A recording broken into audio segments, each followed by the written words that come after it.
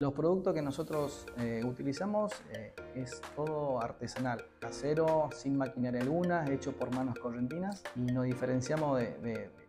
resto de lo que es la panadería en sí, porque es como si lo hubieras hecho en tu propia casa. Mi nombre es Fernando, de Chipá 100% correntino, de la ciudad de Goya. Le hemos traído un chipá artesanal muy rico, casero, congelado, para que la gente pueda en tan solo 15 minutos disfrutar de algo muy rico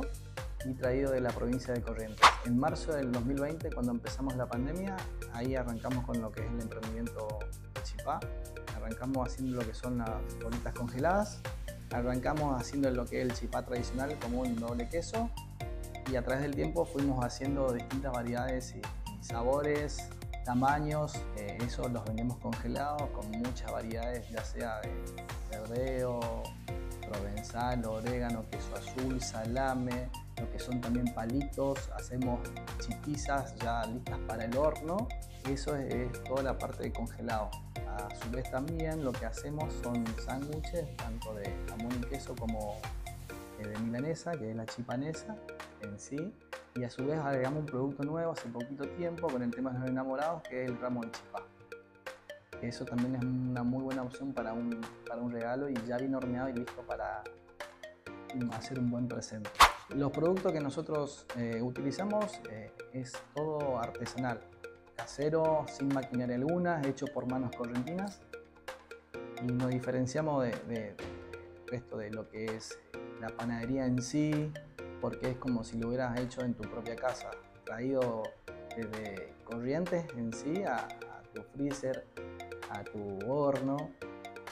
todo está hecho con materia prima de, muy buena calidad y para el cliente es muy práctico porque en tan solo 15 minutos estaría listo con un, chipado o la variedad que fuere listo para su consumo. De hecho, empezamos la, incubadora en conjunto con la universidad y, y AERCA. El motivo por el cual nosotros eh, ingresamos a ese proyecto es tratar de dar un horizonte a nuestro emprendimiento y, el día de mañana anhelamos con nuestro propio local físico y, convertirnos en una pyme, en un negocio donde la gente pueda tener mayor alcance, poder tener eh, canales de venta y acceso directos al público, no sea tan solo en un local físico, sino también en góndolas, de, de, supermercados y en demás negocios de barrio. Y de esta forma, la verdad que se torna mucho más fácil para tener contacto con clientes. Hoy en día eh, estamos abarcando muchas zonas de personas que viven no solo en Villa María, sino en, alrededores y lo que empezamos con un,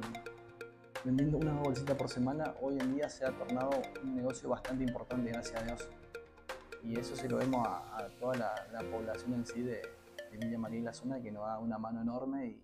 y siempre nos agradece por hacer un producto tan rico y artesanal.